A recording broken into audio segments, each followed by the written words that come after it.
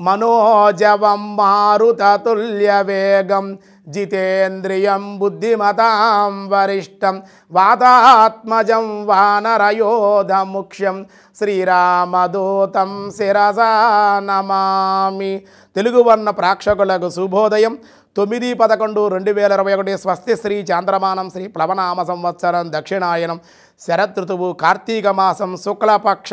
పంచమి మంగళవారం ఈరోజు పంచమ మధ్యాహ్నం మూడు గంటల యాభై ఏడు నిమిషాల వరకు నక్షత్రం పూర్వాషాఢ నక్షత్రం రాత్రి పది గంటల యాభై మూడు నిమిషాల వరకు ఉదయం వర్జం తొమ్మిది గంటల ఇరవై మూడు నిమిషాల నుండి పది గంటల యాభై మూడు నిమిషాల వరకు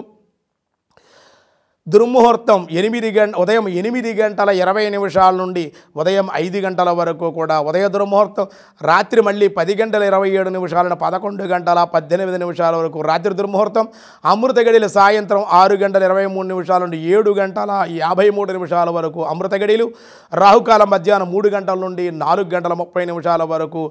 రాహుకాలం ఉంది మధ్యాహ్నం శుభ సమయం ఉదయం ఏడు గంటల ముప్పై నిమిషాల నుండి ఎనిమిది గంటల పదిహేను నిమిషాల వరకు ఉదయ శుభకాలం సాయంకాలం నాలుగు గంటల నలభై ఐదు నిమిషాల నుండి ఐదు గంటల ముప్పై నిమిషాల వరకు సాయంకాల శుభ సమయం ఈరోజు మంగళవారం పంచమి కావడం ఆంజనేయ స్వామి యొక్క ఆరాధన విశేష సత్ఫలిత ఆంజనేయ స్వామి వడమాల అపోపమాల